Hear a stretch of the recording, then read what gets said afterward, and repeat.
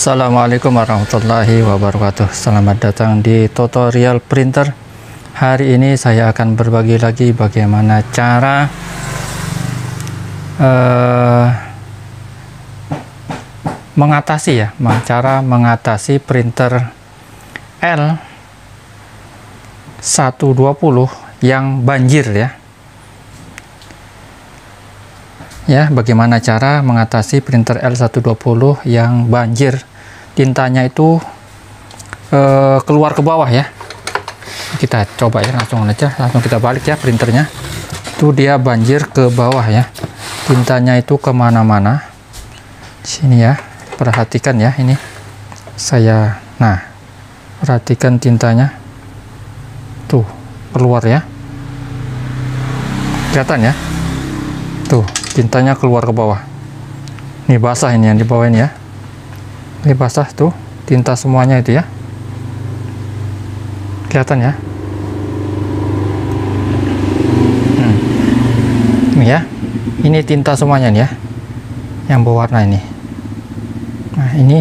Nah cara mengatasi ya. Atau cara membersihkan ya tinta ini.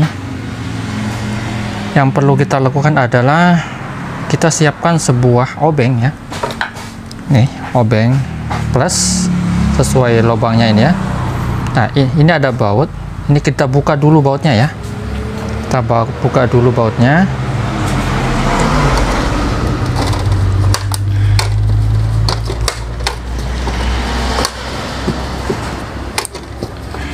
Oke sudah terbuka ya. Baut sudah terbuka. Sekarang ini ya kita angkat ya. Kita angkat seperti ini. Ya. Seperti ini. Yang ini ya. Ini kita geser ke sini ya. Ini ada selah di sini kita geser. Nah dia ke ke kanan ya ya. Nah, setelah itu setelah kita geser ke sini baru kita tarik ya. Tarik ya. Kita tarik nah nah dia terlepas ya. Nah begini penampakannya ya. Nah ini perhatikan. Ya. Nah ini penuh tintanya ya. Perhatikan tangan saya. Hmm. ini tintanya ke mana-mana ya.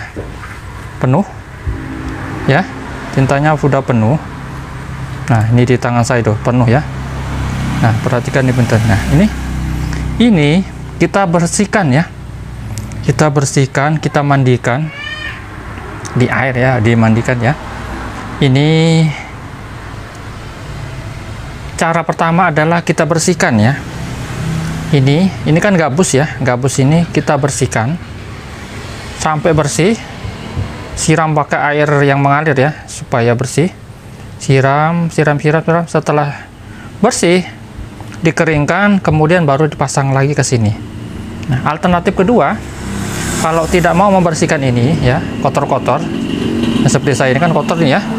Saya harus pasang tangan supaya tangan tidak kotor ya. Ini saya sudah siapkan sebuah gabus ya. Nah ini. Ini gabus daripada printer tipe ini ya. Ya. Tipe L110 L120 nah ini. Nah ini dibeli di online banyak ya ini saya beli di online. Murah saja. Sekitar 15.000 atau 20.000 ya kalau nggak salah seperti harganya. Murah saja. Nah tapi kalau tidak mau beli ya ini tadi.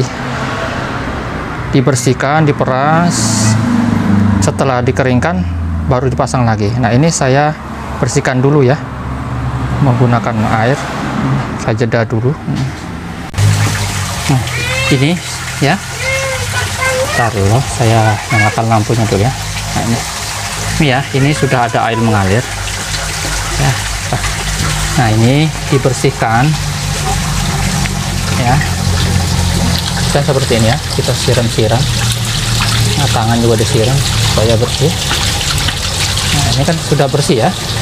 Nah ini ini dikeluarkan ya. Nah ini keluar. Nah ini disiram siram siram ya. Ya disiram ininya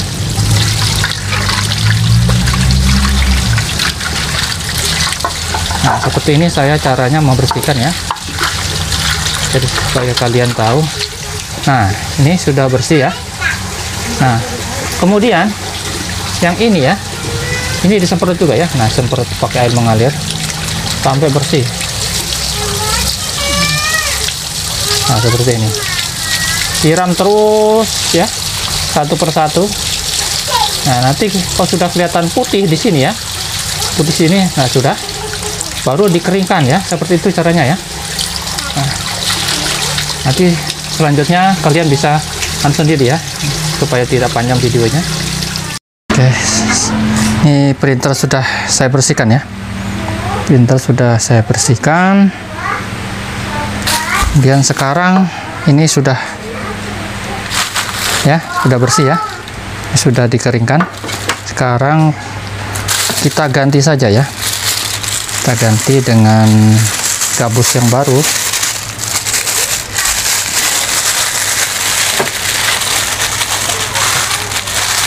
Nah, seperti ini ya. Seperti ini gabus yang baru ya tinggal kita pasang aja ya. Langsung saja kita pasang.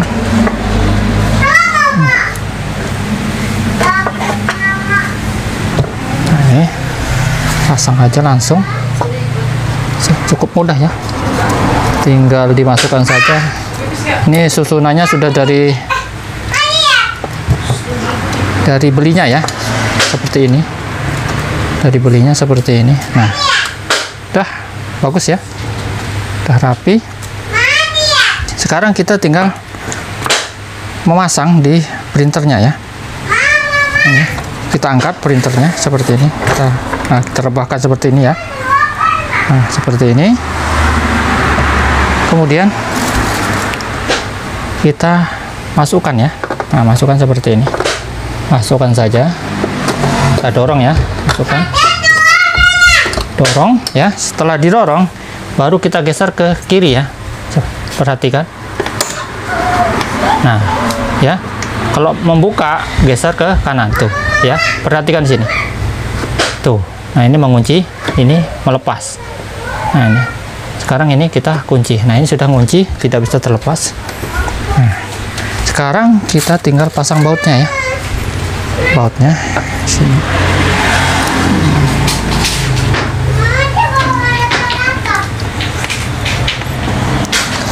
nah sudah selesai ya? Nah kalau dalam posisi seperti ini kita rebahkan tidak apa-apa ya.